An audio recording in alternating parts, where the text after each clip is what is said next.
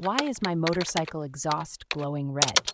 If you've noticed your motorcycle's exhaust glowing red, you're probably wondering what's going on and whether it's something to worry about.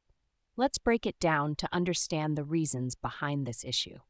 First, a glowing red exhaust is usually a sign that the exhaust gases are extremely hot. This heat can be so intense that it causes the metal of the exhaust to glow. Here are some key reasons why this might be happening. One of the most common reasons is that your motorcycle's engine is running too lean. This means there's too much air and not enough fuel in the air fuel mixture. When an engine runs lean, it can create a furnace like effect, leading to extremely high temperatures in the exhaust system. To check if this is the case, pay attention to how your bike behaves when you roll off the throttle. If it backfires or the engine revs stay high for a while before dropping, it might be running too lean. You can also inspect the spark plug. If it has a white residue and no engine oil or gasoline on it, it's a clear sign of a lean engine. Another possible cause is that the exhaust valves are not working properly. Over time, these valves can get caked with carbon residue, preventing them from sealing correctly.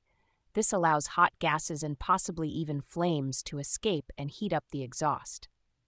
If you're not comfortable checking this yourself, it's best to get professional help. A leaking exhaust system can also cause the exhaust to glow red. If the exhaust gases are leaking out before they are fully ejected, they can build up in the exhaust pipes and cause the metal to heat up. Look for damaged gaskets, loose fitting clamps, or cracks in the metal to identify any leaks. Restricted exhaust flow is another factor to consider. If something is blocking the exhaust gases from exiting the engine, they can build up and cause the exhaust to heat up. This could be due to dirt, road debris, or even pests like mice that might have made their way into the exhaust system. Inspect the inside of the muffler to see if there are any blockages. In some cases, the issue might be related to the ignition timing or the type of exhaust system you're using. For example, if the exhaust system is too short or has a smaller diameter, it can lead to higher temperatures because there's less area for heat dissipation.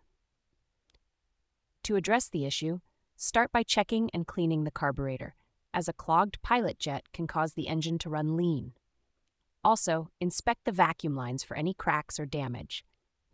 If you're still unsure, it might be a good idea to consult a mechanic to avoid any potential damage to your motorcycle's engine.